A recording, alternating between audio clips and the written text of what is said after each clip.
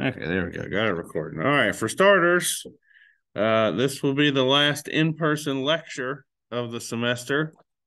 Uh, technically, there are still two more lecture periods scheduled this Wednesday and next Monday, uh, but we will not meet in person for those. You'll have your exam to take. Uh, the exam's about 100 questions uh, for lecture, so that will that covers two class periods. So you have those two classes to get that exam done. Uh, we will meet in person for lab on Wednesday next week and we will have an exam in person in lab uh, Wednesday this week. Sorry, this Wednesday, two days from today. Uh, but we will not leave for lecture that day, so you can use that morning to study for your lab exam. Um, so a little bit about uh, next semester. Actually, just some housekeeping things I need to get and uh, get out of the way. So if you are in ornithology next semester, you need to get yourself a pair of binoculars. Um, yes, you have to have these. It's a requirement for the class. You will, if you don't have them, you will not pass the class. So get binoculars. Uh, if you're wanting to get those for a Christmas present or something like that, that happens pretty often. Folks are looking for uh, getting binoculars for Christmas, make a good present. I'm going to post this uh, page on on Moodle. It just gives you some information about binoculars, what you should buy, uh, particularly, you know, you're buying binoculars for bird watching. These aren't hunting binoculars. There's a difference.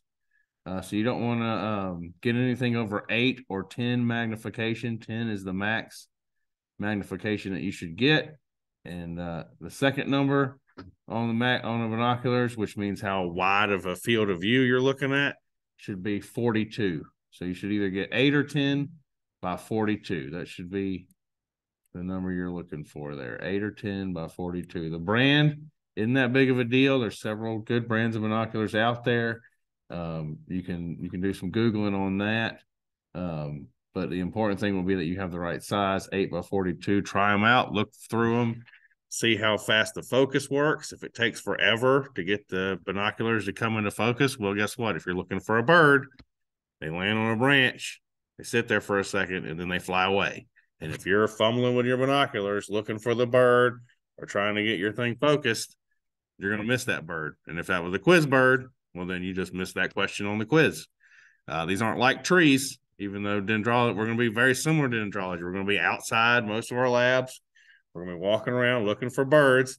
And I'm going to go, what's that bird? Common name as it flies by. So, or as it sits in the tree or whatever, or as it sings way off in the distance. You're going to be able to know them by sound. Um, so it'll be important that you have those binoculars, that you're good with binoculars, that you practice how to use them, um, getting them in focus. Uh, when I took this class as a student, the first time when I was here at Haywood, I took it again at University of Tennessee. When I took it here at Haywood, I had my grandpa's old hunting binoculars that I got from him, and they had this big focus on them, and it took forever to turn that knob and get that thing in focus depending on where the bird was sitting.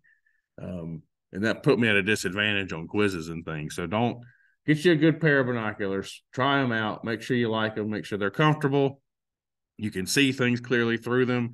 You know, if you're standing there in lab and you're going, I can't see a thing through my binoculars, that's not an excuse. You're still going to have to answer the question on the quiz. So um, get you some good binoculars. Again, uh, eight or 10 by 42 is the numbers you're going to be shooting for. Uh, if you go, if you get any higher than 10 on the magnification, you're going to be looking around trying to find the bird and you'll be too zoomed in to find it. Or if you get too big on the second number, you're going to have this big wide field of view and you'll be searching for the bird out in the field. So, um, 8 by 42 or 10 by 42 are usually the recommended. I, I actually I started out on eights when I was a student and I've upgraded to 10 by 42. I like a little bit extra magnification. I think it helps. Um, so if I were to personally recommend something, it would be a 10 by 42. But you know, try some things out. Head over to uh, Bass Pro Shop and uh, over towards Knoxville and give some of their binoculars a try. They've got some things out there you can try, or you can just go to some of the outdoor stores around here and see if they've got some binoculars you can try out. That's usually a good idea to try them before you buy them. Um, otherwise, Nikon makes some good binoculars. Uh, Monarch, I believe, is the brand that they they're like um or their their binocular sets. They're, they're like bottom line binoculars or monarchs. Um, Vortex is another good, really good optics that's affordable.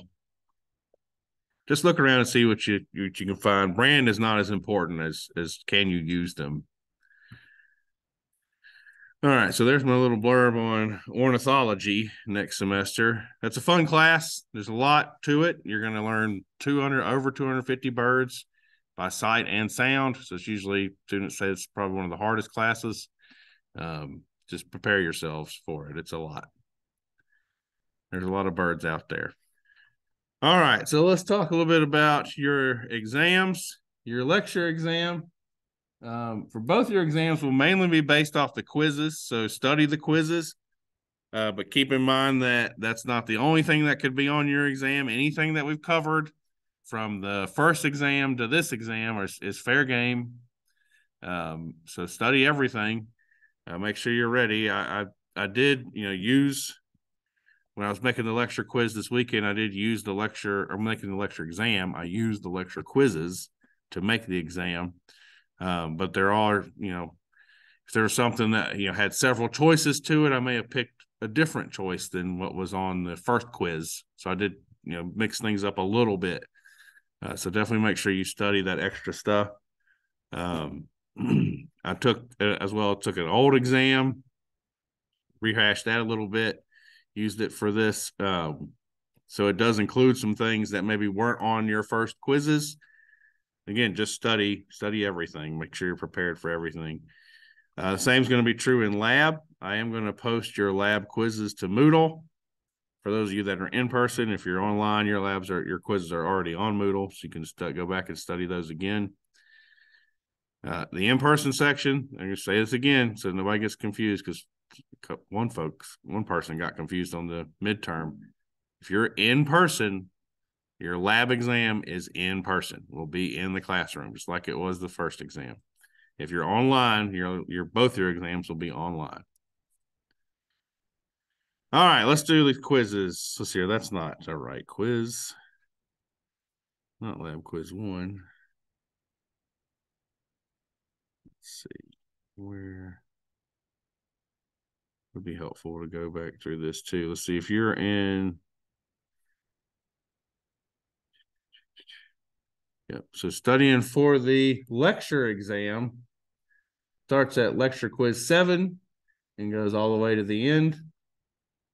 For the lab, I believe it starts at lab six, whitetail deer, and goes to the end.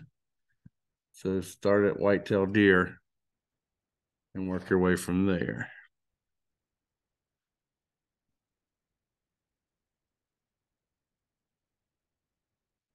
Pull these quizzes.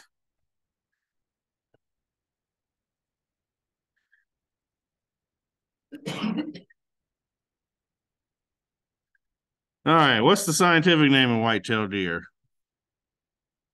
That'll definitely be on there, so make sure you know it. Nobody knows it. Odocoileus virginianus.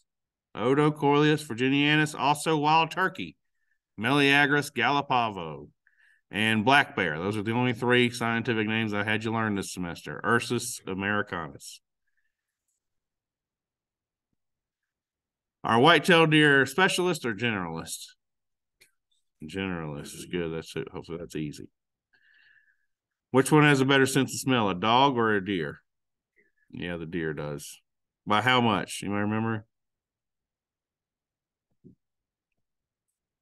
I think it was like a hundred times better.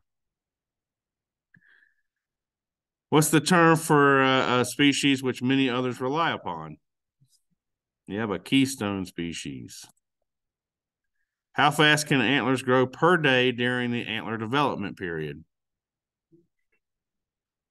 Half an inch per day. During what months do male deers grow antlers? March through September or October through February? It's March through September. What's the soft vascularized layer of skin that surrounds velvet antler? Or I just gave you the answer. Developing antlers called. It's called velvet. What's the term for the outgrowth of bone that deer antlers attach to the skull? Yeah, a lot of y'all missed that on the quiz. It's a pedicle, a pedicle. Make sure you watch that video from Mississippi State about deer antler growth. That's several quiz questions came from there. There will be questions on the exam from there. This one in particular, I think everybody missed this question. The line uh, at the base of the antlers where that degenerates to allow the antler to fall off. That's the abscission line. The abscission line. What's this sign called? A rub. What about this one? A scrape. Good. What's gland A? Preorbital. What's gland B?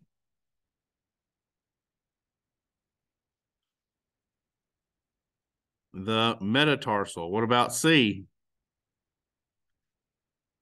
If if B is the metatarsal, C is the tarsal. And then D, in between the toes, interdigital. Which one was browsed by a deer? A, yeah, because they don't have upper incisors. They've got to rip the um, vegetation off the stem. Which deer has been consuming more dry matter? Yep, also A. Which one's a whitetail? Also A. Uh, let's see. What's the type of running that mule deers have? Stotting. What's this condition called? Piebald. And what's it a sign of? Overpopulation. What's the dark colored substance inside a deer's tooth called? Dentine. And make sure you can age a jawbone. Um, study those pictures that are in that PowerPoint because that'll probably be what I use for for this. What are the four chambers of a deer's stomach? Yeah, better know those four. Rumen, reticulum, omasum, abomasum. I won't necessarily ask for them in order, just make sure you know them. That's the correct order, though.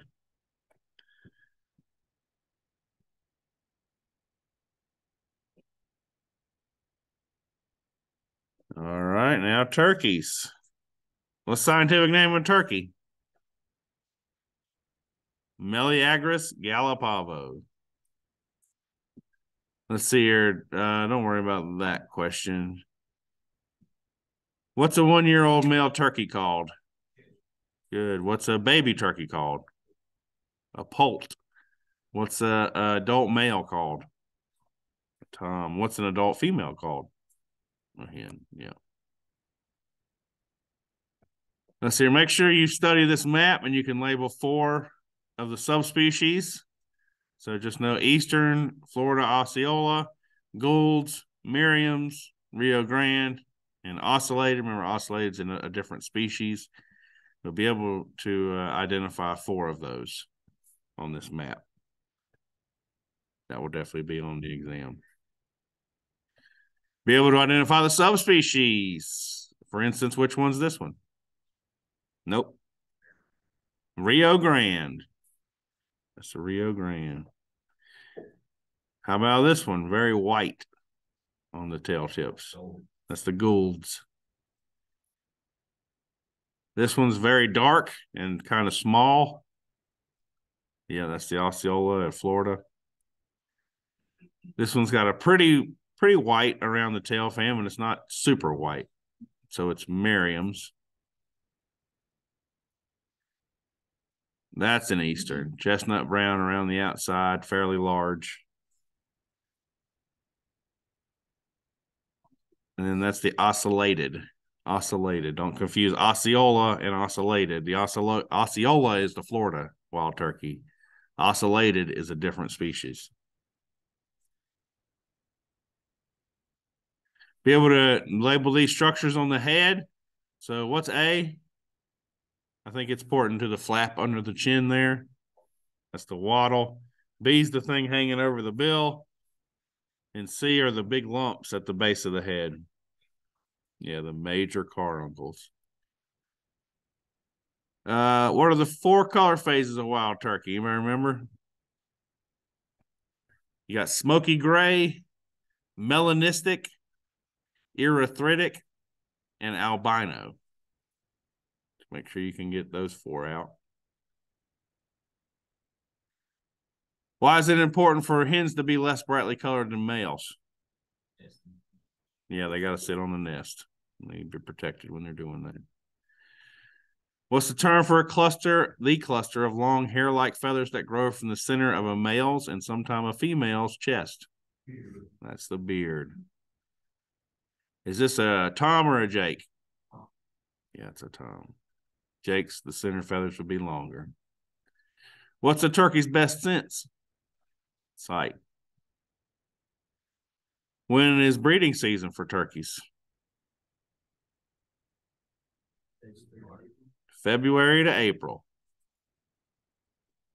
How many eggs do they lay? 10 to 12. Good. And how long do they incubate those eggs?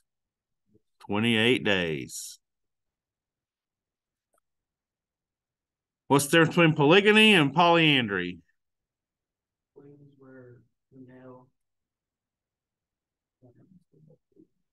Yep. And polyandry is when one female mates with multiple males. Which one are turkeys? Polygamy. Yep. And then nest predators, that could be just about anything that would eat an egg or a turkey or a baby turkey. There's a whole bunch of stuff you could put for that.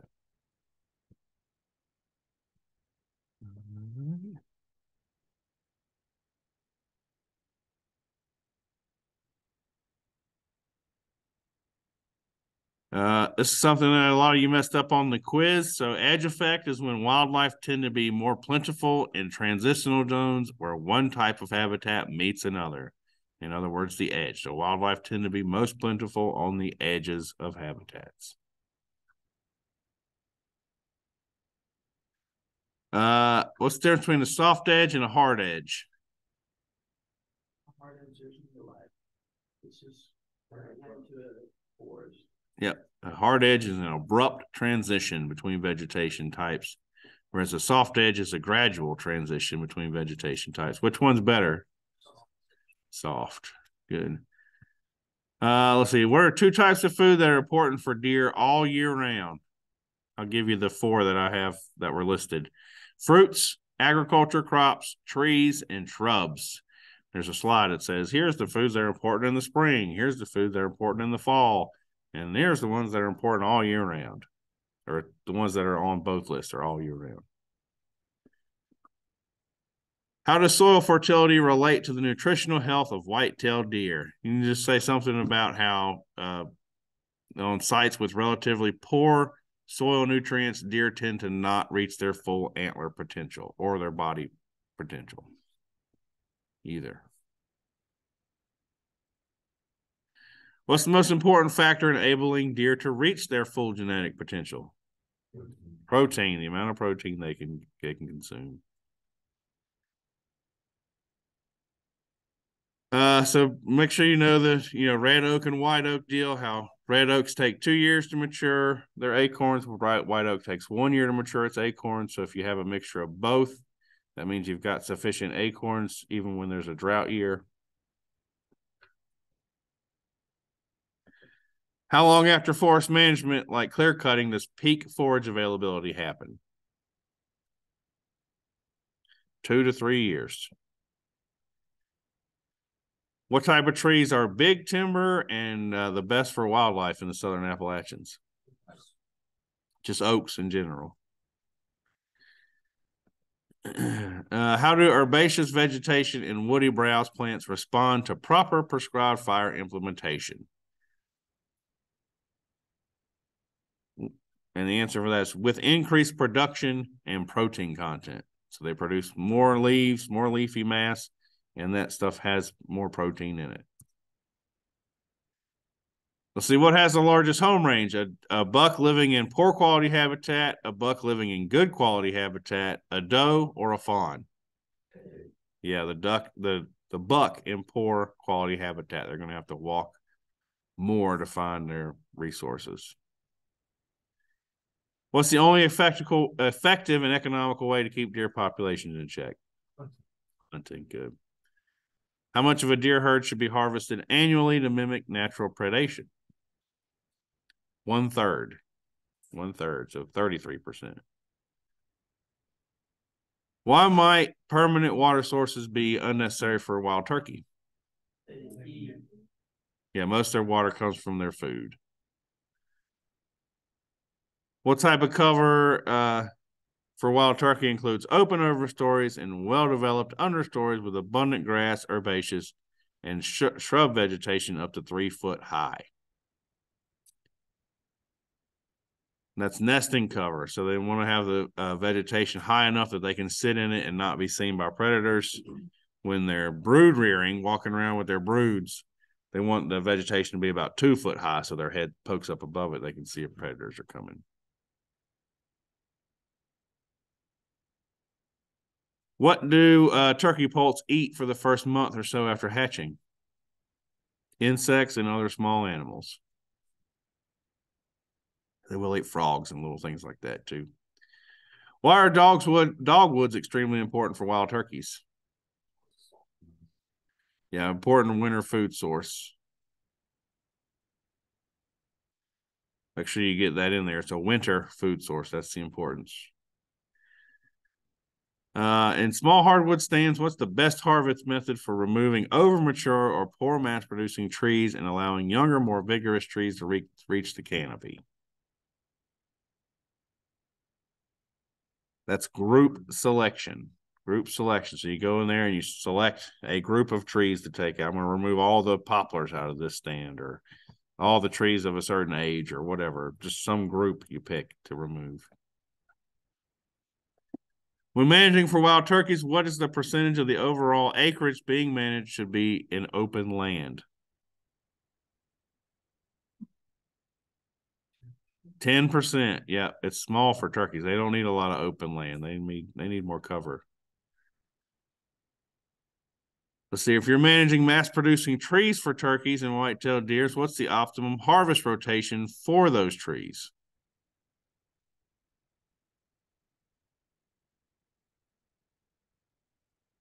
Ninety years. Ninety years takes a long time for a tree to grow up. Takes ninety years.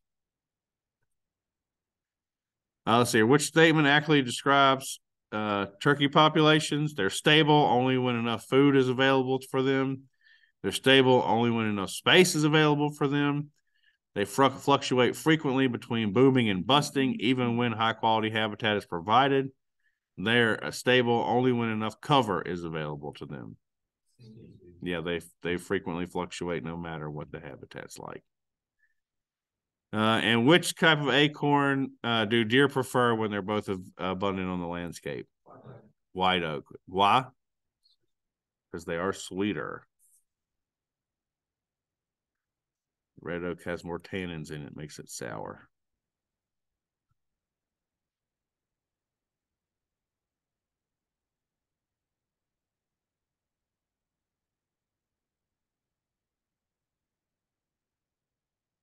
All right. Fire regime is a set of reoccurring conditions of fire that characterize a given ecosystem. Make sure you can regurgitate that definition. What are the three types of fuel found in a forest? Ground, surface, and aerial. Good. Not twigs, leaves, and moss. Ground, surface, aerial. What are the overall effects of fire on soil properties determined by? Yeah, the frequency and the intensity of the fire. What does what do the terms mesic and xeric mean? Yep, mesic means a moderate amount of soil moisture, and xeric means dry. So your adaptations for plants to survive on sites that are periodically exposed to drought and fire. I'll just give you the list. So thick bark relative to other hardwoods, uh, sprouting ability, uh, increased sprouting ability, resistance to rot following scarring, suitability of fire created seed beds for acorn germ- germination, uh, deep rooted, and high rates of photosynthesis during drought. Make sure you've you got several of those in your brain. What two species now dominate uh, most mesic oak forest sites? Yellow poplar and red maple. Uh, this is one where you definitely want to go back and study the PowerPoint because that was not a very big quiz. So there's definitely some information that was left off of there. Uh, let's see here. Your other lab exam or quizzes are mainly on Moodle already. Uh, see, and then we did uh, fishes was in lecture, so I know that kind of seemed like a lab thing, but we did those in lecture. We did SCAT ID. Remember your SCAT IDs. There might be some. Uh, um, well, I won't give you any SCAT. That would be rude. Don't worry about that.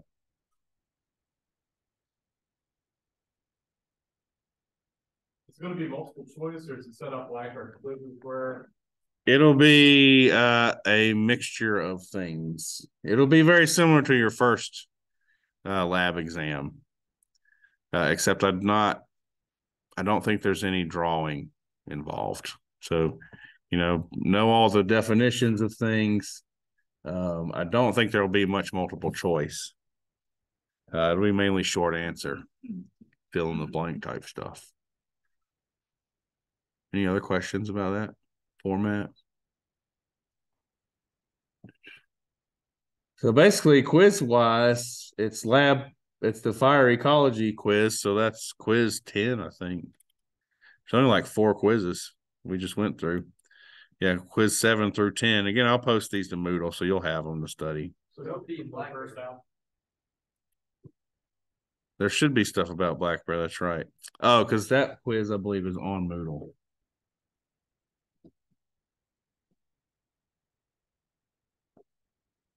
Yep, that quiz is already on Moodle.